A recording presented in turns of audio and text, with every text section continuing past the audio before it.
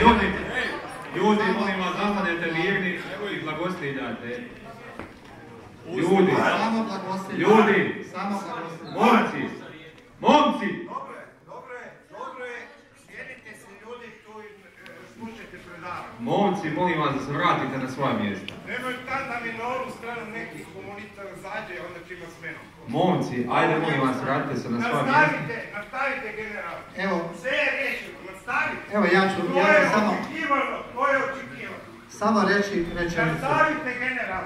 Nije. O- Ovo što, što večeras svjedočimo, svjedočimo o Božjoj, svjedočimo o Božjoj Ovo ljubavi. ćemo mi reći. Svjedočimo o Božjoj ljubavi i očito